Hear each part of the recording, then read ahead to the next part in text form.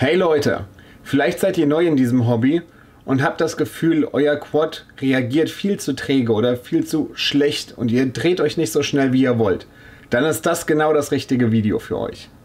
Ich spreche heute mit euch über Raids. Viele denken, dass es sich bei Raids auch um Pit-Tuning handelt. Das ist aber nicht der Fall. Raids sind in meinen Augen auch Dinge, die man direkt als Anfänger einstellen sollte, damit man immer das bestmögliche Flugverhalten aus seinem Quad rausholt. Was sind Raids und wie kann man mit Raids direkt beeinflussen, wie deine Drohne fliegt? Vereinfacht gesagt kann man mit den Raids beeinflussen, wie schnell eine Drohne dreht. Ich gehe genauer darauf ein in dem Video. Dabei möchte ich auf die drei verschiedenen Rates eingehen und euch zeigen, wie du das Flugverhalten von deinem Quad direkt beeinflussen kannst. Ich werde die Theorie immer mit ein paar Praxisbeispielen aus dem Simulator veranschaulichen. Ich würde euch empfehlen, auf dem Weg zu euren perfekten Rates alles erst einmal im Simulator zu üben. Und ja, bis ich meine Rates gefunden habe, habe ich ungefähr ein Wochenende lang verbracht im Simulator und habe rauf und runter experimentiert, was mir am allerbesten gefällt. Sobald ihr die richtigen Rates gefunden habt, könnt ihr diese natürlich dann auch auf euren Copter übertragen. Bitte bedenkt hierbei aber, Simulatoren sind in der Regel für 5 Zoll Drohnen ausgelegt. Wenn ihr nun eine andere Drohne als 5 Zoll fliegt, ist aufgrund der kürzeren oder der längeren Wege die Drehgeschwindigkeit natürlich auch eine andere da die Motoren einen größeren Abstand zueinander haben. Wie ihr das Ganze dann auf euren Copter übertragt, zeige ich euch am Ende vom Video. Aber genug gequatscht, steigen wir ein.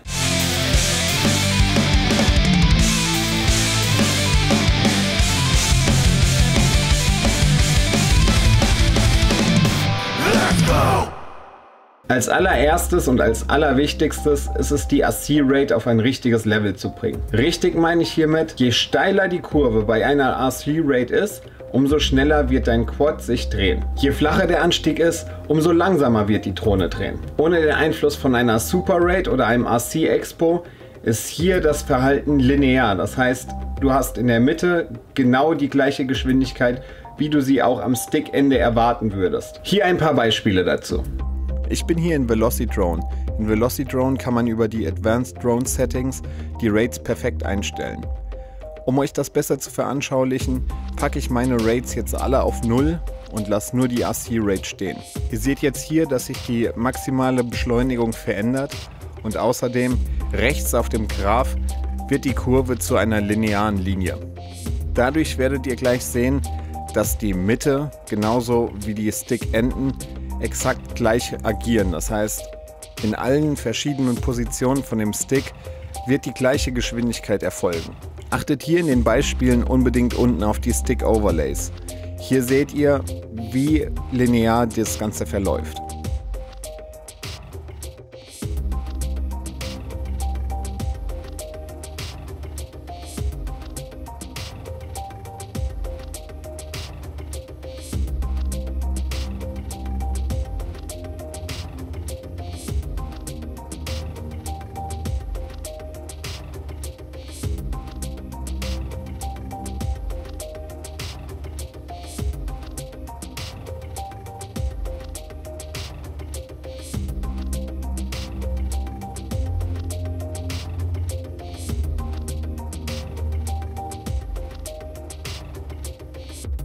Wenn wir nun die RC-Rate hochschrauben, wird sich die maximale Geschwindigkeit erhöhen.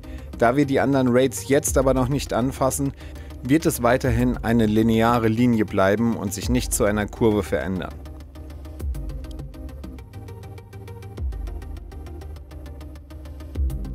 Hier seht ihr nun, dass der Quad sich wesentlich schneller dreht als eben, allerdings ist hier auch weiterhin ein lineares Verhalten zu sehen. Das heißt, egal wo wir mit unserem Stick sind, die Rolle oder der Flip wird immer gleich schnell sein. Nachdem wir nun über die RC-Rate gesprochen haben, kommen wir zur Super Rate. Die Super Rate hat genauso wie die RC Rate Einfluss auf die Geschwindigkeit der Drehung. Nur mit dem Unterschied, wenn ihr die Super Rate höher schraubt, wird die Mitte weicher, aber zum Stickende werdet ihr immer schneller. Und im Umkehrschluss, je niedriger die Super Rate ist, umso linearer wird der Quad sich verhalten. Hier ein paar Beispiele. Um das Ganze nun zu veranschaulichen, zeige ich euch hier die gleichen Einstellungen, wie wir sie eben schon hatten für die RC-Rate. Das heißt, wir haben eine 400 Grad Drehung pro Sekunde auf Pitch, Roll und Yaw. Und ihr seht, dass hier wieder weiterhin lineares Verhalten herrscht.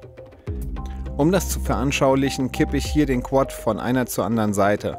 Und ihr seht, dass egal wo ich den Stick habe, die Geschwindigkeit jedes Mal dieselbe ist. Wenn wir jetzt aber in die Einstellung gehen und ähm, die RC-Rate runterschrauben und dann unseren, unsere Super Rate hochschrauben, seht ihr, dass aus der geraden Linie eine Kurve wird. Wir haben hier die gleiche Geschwindigkeit wie eben, das heißt 400 Grad pro Sekunde. Aber jetzt wird deutlich, warum wir eine Super Rate benutzen. Denn in der Mitte, wenn ihr unten auf die Sticks schaut, wird viel mehr Bewegung möglich sein, wohingegen zum Stickende wesentlich mehr Geschwindigkeit gefordert wird, beziehungsweise der Quad sich schneller dreht. Das seht ihr auch hier nochmal, wenn ich von links nach rechts kippe, dass in der Mitte sehr viel mehr Spiel ist, als es vorher der Fall war.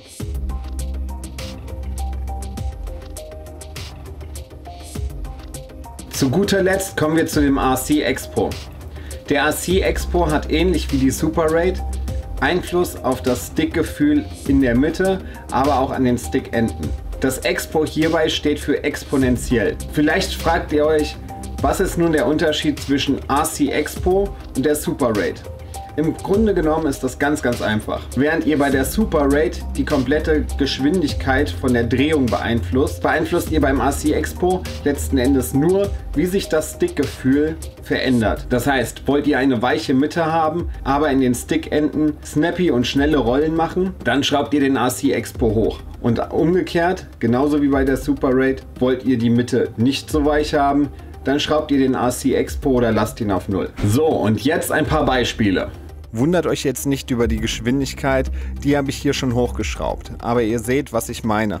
Wenn wir jetzt den RC Expo hochschrauben, verändert sich nichts an der Geschwindigkeit und die Mitte wird sehr, sehr flach. Dadurch, dass die Mitte sehr flach wird, können wir uns nun sehr frei in der Mitte bewegen, wohingegen wir zu den Stickenden hin eine sehr schnelle Drehung haben werden. Das seht ihr hier. Ich kann quasi fast die komplette Rolle oder fast den kompletten Roll Stick bewegen, ohne dass eine Rolle passiert. Aber sobald ich das letzte Fünkchen auf meinem Stick bewege, seht ihr, dass die Rolle ausgeführt wird. Und dafür benutzen wir den RC Expo. Der RC Expo ist hier jetzt wirklich nur noch dafür da, um das Stickgefühl zu verbessern oder zu verändern. Die Super Rate hat direkten Einfluss auf die Geschwindigkeit, wohingegen hier wirklich nur noch die Geschwindigkeit an den Enden justiert werden kann.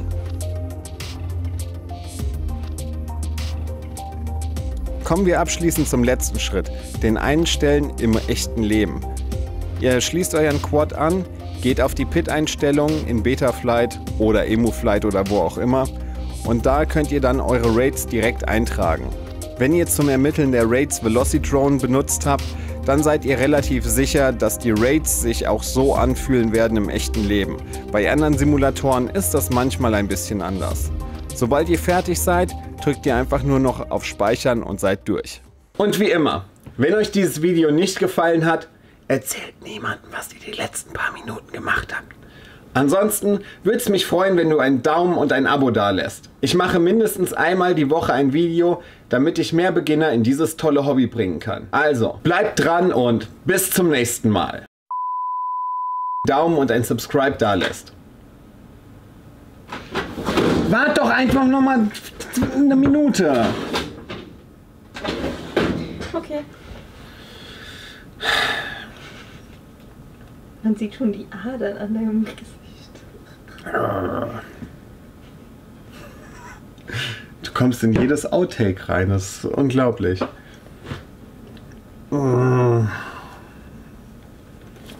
Demnächst muss ich mich vorstellen. Ja, natürlich musst du dich vorstellen. Du fliegst demnächst.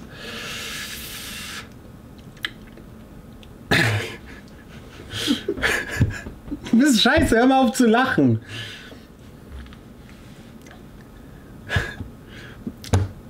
Ich habe voll den Faden verloren, aber dabei muss ich doch nur noch diesen einen Kacksatz sagen. Und wie immer. Und wie immer, wenn euch diese